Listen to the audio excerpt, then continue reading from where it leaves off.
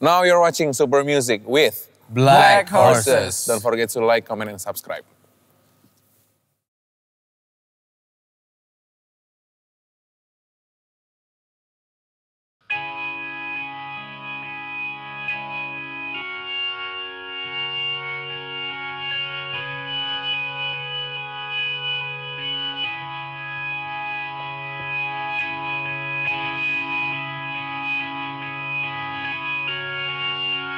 Sound-sound 70-an tuh karena alat-alatnya masih analog gitu.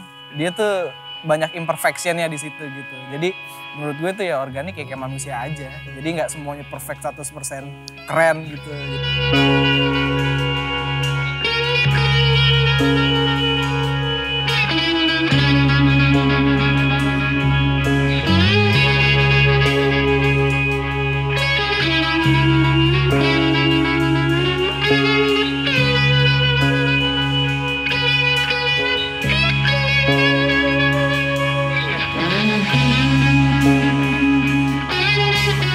Kita datang sebenarnya basicnya rata-rata beda-beda sih ya. Waktu itu gua masih grunge, Kevin yang masih main death metal.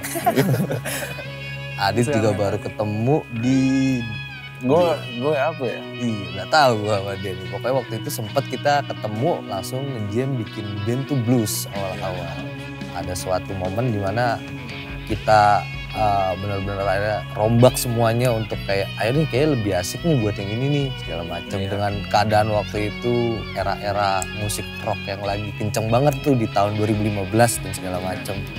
Akhirnya kita observasi, kita lihat kanan kiri dan akhirnya create sesuatu yaitu dari Horses itu.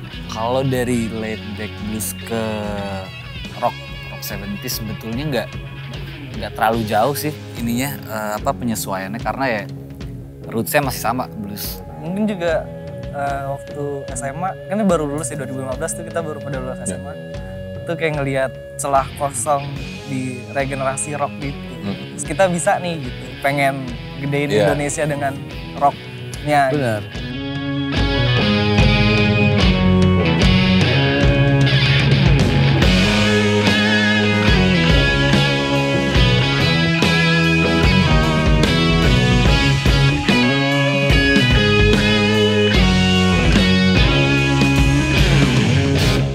Sebenarnya penamaan eh Four Horsemen itu itu eh, post daripada Black Horses. Jadi eh, itu nggak jadi asasnya malah. Jadi karena kita kebetulan berempat dan namanya Black Horses, jadinya eh ini kayak Four Horsemen gitu loh. Juga ada temen yang bilang, oh apa kuda hitam, kuda gitu ya. Iya, udah itu dari, dari gak disangka-sangka. dari sangka-sangka. Itu dari satu. Dulu tuh kita formasi berlima. Oh Iya. iya itu. Dari SMA ya 2014. Dia tuh yang nemuin ya akhirnya ya udah namanya ini aja gitu. Eh, eh. What you gonna do if someone comes to change your room? To change your room?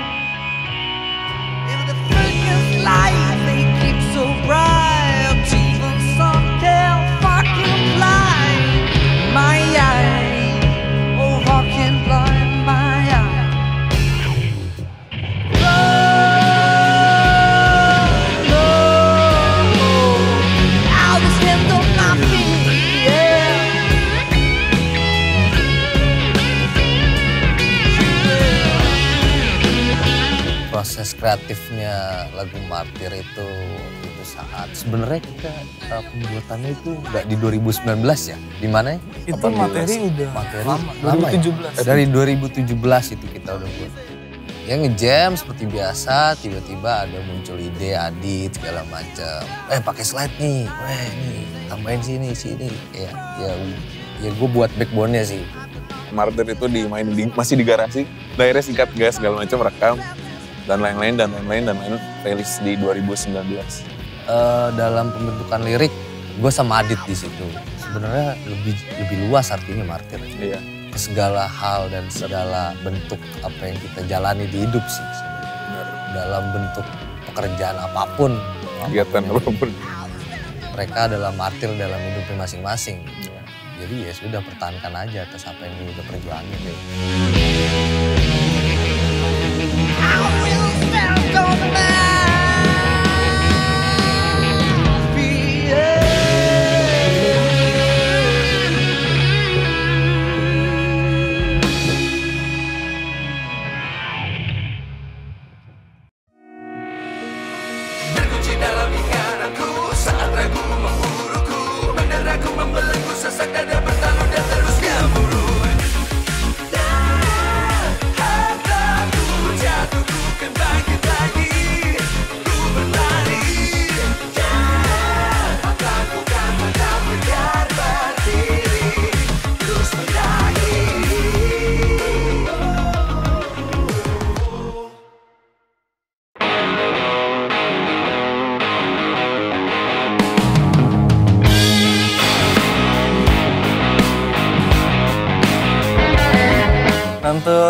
Mendapatkan sound yang raw dan kompleks sebenarnya gue tuh selalu approach gue kan 70s ya Eh, harus benar dari source-nya dulu gitu Sekali take ya, nggak boleh ya, nggak boleh ngulang. Eh nggak boleh. Iya, one take gitu. Jadi less editing pas gue rekam Martir itu Nggak mau itu Kevin kalau nggak nggak one ada, nggak ada, Gak boleh nambel.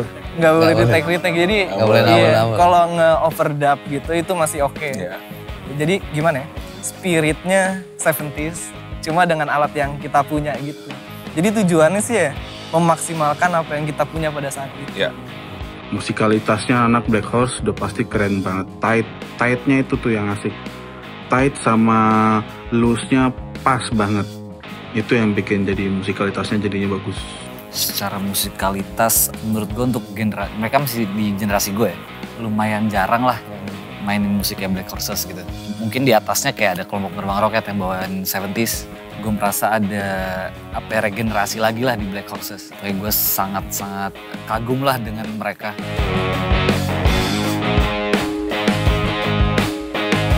mengenai fashion itu sebenarnya gue found out gaya-gaya kayak gini tuh waktu gue SMA, eh SMA, kuliah 2000 awal 2015. Waktu itu emang kita ngeband banget 70s gitu, kayak digging, ya celana flare gitu, Iya. bootcut segala macam. Jadi kayak terus nyaman juga kan nggak nggak nggak ketat gitu iya. ya nggak skinny gitu, Iya. naik motor enak, Adem. looks keren gitu ya udah. Jadi oh cocok nih terus juga orang ikonik jadi jadi tahu gue oh gini bentuknya Fashion penting banget, apalagi musik-musik yang klasik rock kayak Black Horse gitu ya.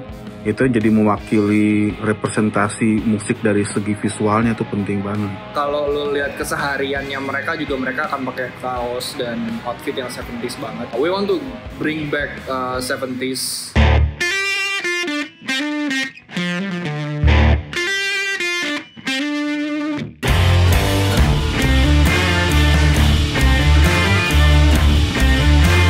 Eh, DCD, Death Call Decline. Kejadiannya tuh Raffi di 2019. Kita lagi rekaman lah, sampai malam gak ada kabar. Gue di chat sama orang tiba-tiba di Instagram, ternyata, mas temennya ini bukan. Ternyata dia udah di rumah sakit. Hmm. Jadi kecelakaan ditemuin polisi.